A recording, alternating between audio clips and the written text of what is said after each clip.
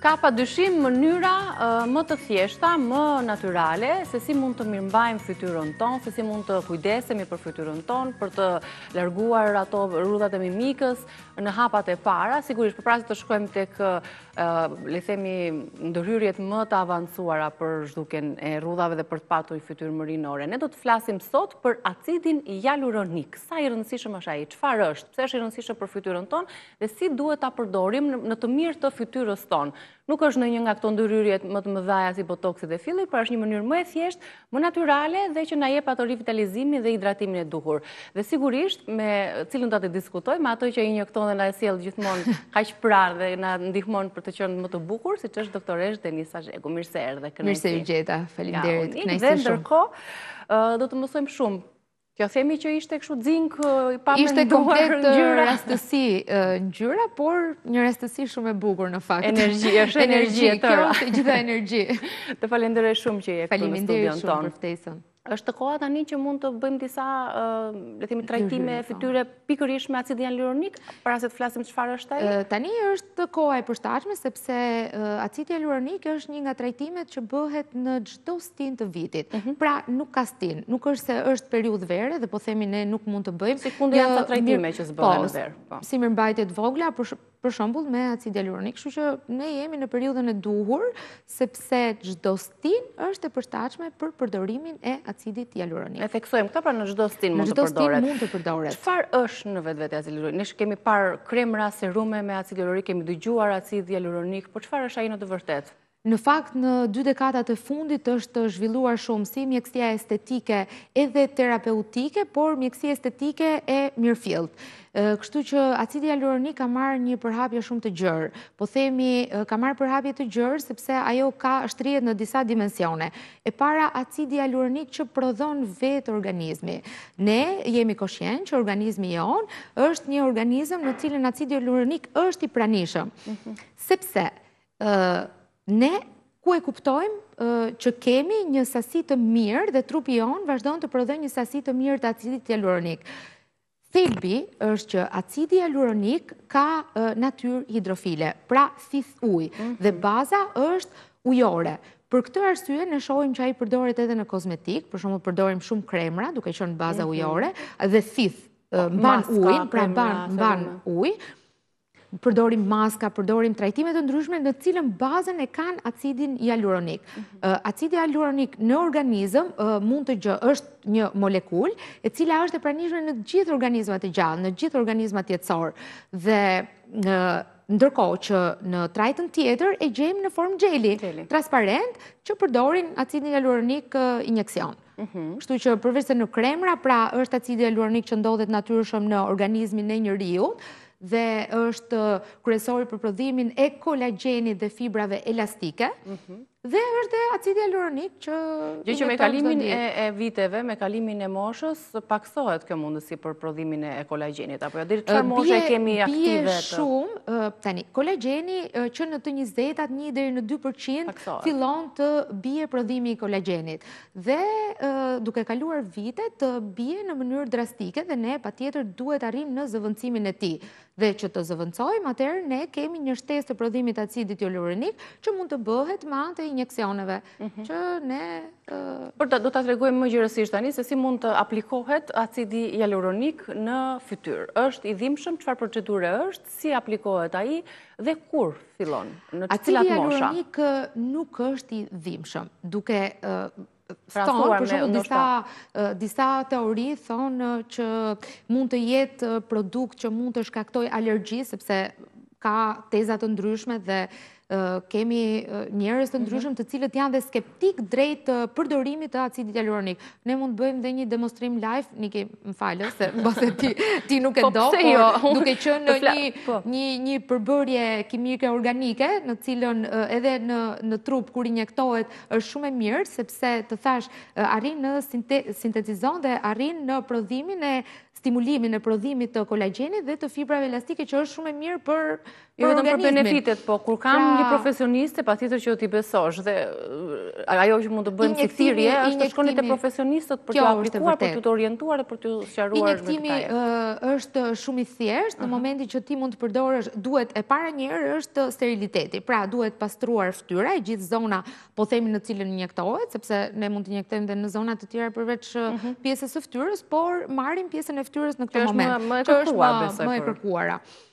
Uh, injektohet në fytyrë, sterilizohet, pastrohet e gjithë zona uh, në cilën ne do injektojmë. Uh, acidi hialuronik është uh, i, uh, i, i uh, paketuar, pra është i po, po. presuar, uh mhm. -huh. është uh, steril, në në mhm. vetvete dhe përdoret për shembull një shiring varet nga markat që përdorim, produktet që përdorim, një pjesë shumë e madhe mos them 100% të tyre janë të certifikuara sepse janë bërë testet shumë më përpara po. dhe aplikimi në duar të profesionistëve është i sigurt dhe në ato zona që aplikohet shihet direkt rezultati. i mhm. cili zgjat ndërkohë, zgjat 9 deri në 12 muaj, jetëgjatësia e acid hialuronik është 9. Më shumë se aplikimet e tjera për shembull që mund t'i bëjmë fytyrës? Për shembull, botoksi zgjat diku deri te 4 në 6 muaj. Pra, ndërkohë që acidi hialuronik, mhm. duke qenë se dhe ne kemi në organizmin tonë acid hialuronik dhe e prodhon dhe vetë trupi, atëherë kjo zgjat 9 deri në 12 muaj dhe arrin dhe të përthithet nga vetë organizmi dhe të metabolizohet në një kohë të avashët, pra do kohën e vet që të përthithet nga organizmi. Mhm. Në momentin që injektohet, nuk ka rreziqe, sepse ajo përthithet direkt nga indi lokal, pra aty ku është injektuar, dhe është shumë Çfarë rezultati shohim, ça benefite shohim në fytyrë me aplikimin e acidit hialuronik? Fytyrë të hidratuar, të qetësuar? Japin volum, japin hidratim, japin rigjenerim të zonës, Domethënë, ka miliona benefite, si nga jashtë edhe nga brenda, mhm. sepse ushqen organizmin dhe nga brenda. Kështu që ne e stimulojmë. A mund të bashkohet, doktoreshë Denisa, acidi hialuronik me ndonjë produkt tjetër për shembull për t'i dhënë akoma më tepër në Në qoftë se ne marrim, sepse thamë që kemi disa tipe të acid po. hialuronik, është vetë acidi hialuronik i organizmit tonë, është acidi hialuronik i produkteve. Unë do rekomandoja, në qofë se do blenim një krem me acid hialuronik, të ishte baza acid hialuronik. Në qoftë se do përdornim një injeksion të acid hialuronik, të përdornim vetëm injeksionin acid hialuronik dhe mbas disa kohësh, mbasi ajo të ketë arritur një përthithje dhe pacienti ta shohi rezultatin, atëherë mund të injektojnë dhe produkte të tjera. Mm, Por mbas një periudhe të caktuar. Nuk do isha në mbi bombardimin e... Absolut, asgjë e tepërt nuk është nuk është e një efekt, se ka disa njerëz e kanë dhe maninë që o të bëjmë dhe një seansë, të bëjmë dhe një seansë. Të thashë, në qoftë se do mund të bëjmë diçka demonstrative për të treguar, sepse unë jam nisur edhe për diku tjetër më vonë,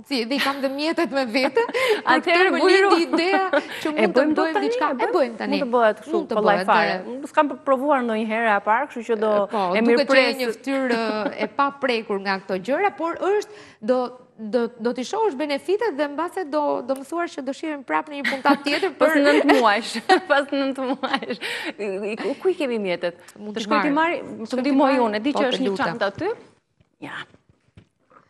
Sa mirë, kur na vijnë doktoreshat me mjete me vete, një rrugë e dy punë. Tani të tregojmë diçka, ky është një demonstrim i acidit hialuronik,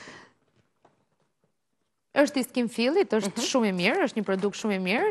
Dhe sa e rëndësishme është të punohet pikërisht me lëndë të parë, kjo. është e vërtetë, ja po ju tregoj, Kjo ky është acid hialuronik. Aty brenda. Mhm. Sa aty brenda është litra ose 1.1 cc. Mhm. Acid hialuronik. Kjo për shembull mund të injektohet po themi në zonën e mollzave, në duke e përdorur nga 0.5 0.5. Unë i kam marrë produktet sepse mu mhm. deshën, kështu që do të dezinfektoj prapë. Po, se duhet patjetër që fytyra të jetë e pastruar dhe me kapin që kemi vendos do na ndihmojë pak. Do vazhdoj procedurën normale, siç e bëj në klinikë. Në klinikë në rezedjeli. Vetëm se kushtet mbase nuk janë 100%, por gjithsesi. Përveç se acidit jaluronik aplikimi që thamë që edhe në verë mund të aplikohet dhe në çdo stinë tjetër për të kuptuar i Kremrat e tjerë. Kremrat janë mirëmbajtës. Pra, po. në momentin që ti i jep fytyrës, hidratimin e duhur nga brenda, pra ti e ushqen nga brenda, me anë të acidit jaluronik stimulues, të aplikuar, të mhm. injektushëm, ne mund të vazhdojmë mirëmbajtjen nga jashtë, pra mhm. duke përdorur kremrat me bazë acidi jaluronik. Mund të përdorim vitaminën C, që është shumë e mirë, Pra mund të kemi një kombinim, sepse nuk është e thënë që të përdorim vetëm një krem me acid jaluronik. Mhm. Kam dëgjuar që vendosja në fytyrë e acidit jaluronik, duhet të bëhet në një fytyrë jo shumë të thatë, por të jetë pak e njomë. Është e vërtetë, apo çfarë ndikimi ka? Ideja është që varet edhe nga llojet e fytyrës, sepse kemi disa tipe mhm. fytyre, dhe në përgjithësi duhet të bëjnë një test lëkure, përpara se dhe të blejmë produktet. Sepse ka njerëz që janë me problematika të ndryshme dhe nesër pasnesër vjen dhe i shfaqen akne. Po, dëmton. Nga kjo pjesë, dëmton, bën efektin e kundërt. Kështu që e mira është që gjithsecili nga ne të dijë se çfarë tipi lëkure ka, që të trajtojë problematikën ose ta mirëmbajë. Mhm. Ne të jemi në rrugën e duhur pra drejt një mirëmbajtje dhe një parandalimit të plakjes së parakohshme. Absolutisht, mos marrim kremra produkte duke pyetur shoqërinë. E mira do i bëri mirë njërës, jo, nuk i bën tjetrës se lëkurat janë të ndryshme. Një produkt që është për lëkurën time dhe që është për fytyrën time, nuk është për fytyrën tënde, nuk është e përshtatshme. Çdo mhm. tipologji lëkure është e ndryshme. Këtu moshat jemi... që mund të aplikojnë të gjitha besoj. Moshat që aplikojnë është nga mosha 18, unë do rekomandoja 18 e sipër, pra që e kanë dhe një njohuri të, mhm. të bazave që përdorin. Moshat që janë më, ku fillon dhe paksohet, pra mbi njëzet që fillon paksohet, kolagjeni, acidi jaluronik në trupin tonë, fillojnë të përdorin kremrat, serumet, së jashtmi po, dhe pastaj. Në qoftë se nuk kanë asnjë lloj problematike dhe nuk kanë shfaqjen e parë të rrudhave të vogla atyre të imtave, atëherë mund të vazhdojnë shumë mirë me mirëmbajtje nga jashtë, që është stimulimi nga jashtë, pra mhm. me kremra. Çfarë trajtimi nuk do rekomandoni tani në verë? Për shembull, këtë punën e njollave e di, që në verë është e kotë sepse je e ekspozuar në diell. E di çfarë do rekomandoja në verë? Në verë do t'i thoja të gjithë pacientëve ose teleshikuesve që po na ndjekin. Përdorni kremra me SPF. Nuk jam shumë pro trajtimeve, por do thoja përdorni kremra me SPF.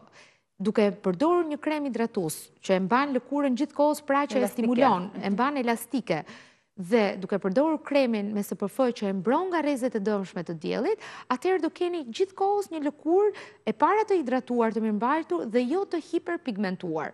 Sepse është çelësi i gjithçka, është po. në të vërtetë duket si diçka e thënë rëndomtë, por është shumë e rëndësishme. Kremi me SPF është shumë i rëndësishëm, aq më tepër tani në këto rreze shumë të forta të diellit. Ja një pyetje, sepse shumë vajza përdorin make-upin. Po. Nga puna që bëjnë, po, nga dëshira për t'u dukur bukur. Nuk është, nuk është problem, po.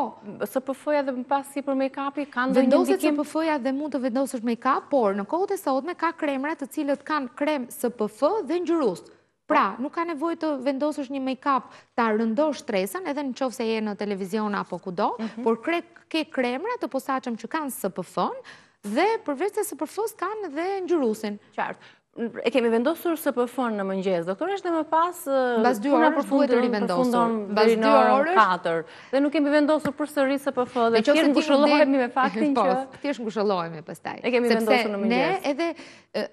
Vetë fakti është që kur ti del në kontakt me rrezet e diellit, edhe vetë djersitesh. Pra, sido që të jetë ajo krem, ai mhm. krem që ti ke vendosur, edhe mos të jetë përthithur, pra, ti je e djersitur.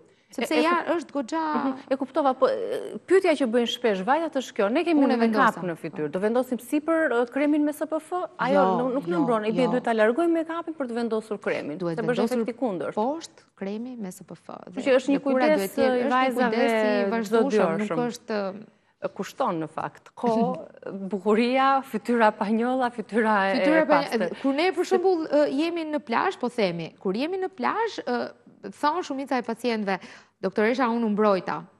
Po si u mbrojte? E vendosa të kremin një herë në në mëngjes, po themi, dhe i them unë sa krem ke ke shpenzu gjithsej. Dhe një një njëqind, mhm. po themi. Po ndërkohë, trupi dhe fytyra duan diku te 30 ml krem të po, gjitha po. që gjatë ditës. Po 30 mhm. ml sa krem i bie që të shpenzojmë. Minimalisht duhet të të thashë duhet një kujdes i përhershëm të paktën në këtë stinë. Domethënë unë jam për kremin ë me faktor mbrojtës gjithë kohës, por të paktën në këtë stinë. E bëjmë demonstrimin. Bëjmë demonstrimin dhe pyetje të tjera kemi për sa i takon mbrojtjes në plazh sepse se nuk duhet të mund të kripa, tani. Po. Përveç kripa bën të vetën, shpëlarja gjithashtu e fytyrës, Po i dezinfektoj pak dhe unë duart me alkool, sepse dorezat prekën njëra-tjetrën herë pas here dhe të jemi shumë të kujdesshëm në pjesën e sterilizimit. Pra do të bëjmë një aplikim të acidit hialuronik? Bëjmë një aplikim të acidit hialuronik. Unë do preferoja... Nuk kemi bëjmë të kemi acid hialuronik që është shumë thelbësor esencial për hidratimin dhe mbajtjen e fytyrës elastike të hidratuar. Gjithë kohës të hidratuar. Acidi hialuronik i mbyllur. Mhm, mhm. Pra... Okay. Do të vendoset në pjesë të ndryshme të fytyrës. Pra, aty ku është dhe më e nevojshme. Unë do ta vendos ku e kem më të nevojshme dhe ku fillon plakja në thonjza. Plakja e parakohshme fillon gjithmonë në zonën e mollëzave, në zigomatik. Mhm. Kështu që unë preferoj të përdor një metodë me kanjulë, jo me, me mhm. gjilpëra, Për të mos pas edhe shenja dhe edema gjatë gjithë kohës, duke qenë se edhe në transmitim. Jemi në rregull? Okej, ti do shtrihesh pak se... Kjo më e gjatë, edhe këto ma bërë. Edhe këto ma bërë. Okej, e pastrojmë. Megjithëse Niki është fytyrë shumë e pastër edhe vetë nuk përdor make-up-e shumë të mdha, po Mbasi pastrohet e gjithë zona në të cilën mhm. ne aplikojmë acidin hialuronik. Kjo është zona e zigomatikut, pra mhm. e ndjejmë dhe me dorë. Në përgjithësi bëhet një prerje imagjinare ku ne mund të injektojmë. Pa, po, që të jetë më e shkëllqyër. Fillojmë? Me shëndet shpirt, ta gëzosh. Faleminderit, absolutisht fare nuk ndjeva gjë. Ndërkohë jemi pa mpirje, në përgjithësi mhm. në klinikë ne përdorim dhe një mpirje. Për raste ose për injektime më të, më... të rënda. Edhe për këto, sepse ka pacientë të cilët janë dhe pak fobikë nga gjilpërat. Acidet hialuronike janë të dendësive të ndryshme dhe kjo që ne po përdorim është pak më e fortë se të tjerët, sepse mhm. përdoret në zonën e zigomatikut ku është ku duhet të qëndrojë më mhm. në sipërfaqe. Të dhemb? Jo, absolutisht. Pra, çfarë benefitesh do të ketë një fytyrë që do të jetë shumë më e hidratuar, mhm. shumë më e revitalizuar, do të ketë më volum në këtë zonë, Ne po të shohim. Këtu është bërë injektimi, apo jo? është bërë përgjatë gjithë zonës. Mhm. Sepse kanjula e lëshon acidin hialuronik, e shpërndan në të gjithë zonën. Po. Dhe një projeksion shumë natyral i fytyrës, Këtu kemi përdorur 0.4, mhm. e përdorim të gjithën 0.5 edhe pastaj vazhdojmë edhe me anën tjetër. Kamera mund ta kapi projeksionin e mhm. Nikit. Që rezultati pra- shfaqet që në çast, që në po, moment? E kuptova. Qysh e sheh? Pra, do të jemi më vitalë, më të hidratuar, na duhet pak kohë patjetër për të larguar pjesën e skuqur. Duke duhet shumë pak kohë po, për të larguar pjesën e... Dy pyetje të fundit kisha, doktoreshë Denisa, për të kuptuar dhe më tepër rreth këtyre metodave, sigurisht të fundit, kjo është një metodë që ka shumë vite që aplikohet në, në, në vendin tonë dhe në klinikën tuaj, kush e kërkon më tepër? Ka meshkuj që e kërkojnë aplikimin e acidit hialuronik? Në përgjithësi e kërkojnë edhe meshkujt, sepse të gjithë duan atë pjesën e ftyrës të rivitalizuar dhe të hidratuar, kështu që kërkohet nga të gjithë e para nga, grupo, nga llojet e ndryshme të grupmoshave dhe gjinia femërore dhe mashkullore. Pra, janë pra, të gjithë që... Pra mund të gjenden edhe metoda të tilla, të cilat nuk na deformojnë, Kemi kemi jemi shumë natyral, pra të jemi më të relaksuar, më të hidratuar. Shumë faleminderit. Faleminderit shumë. Për bisedën dhe për shumë kënaqësi. Që ra ka qenë me injektimi. Shumë e improvizuar pjesa e injektimit acid hialuronik, por diçka shumë e bukur. Faleminderit shumë. Do t'i ndjesh benefitet. Shumë faleminderit. E vlerësoj shumë. Ne do të përshëndetemi së bashku. Do t'ju lëmë shikim të këndshëm të programacionit në vijim dhe nesër do të jemi më bukur akoma në ekran. Faleminderit. Faleminderit shumë.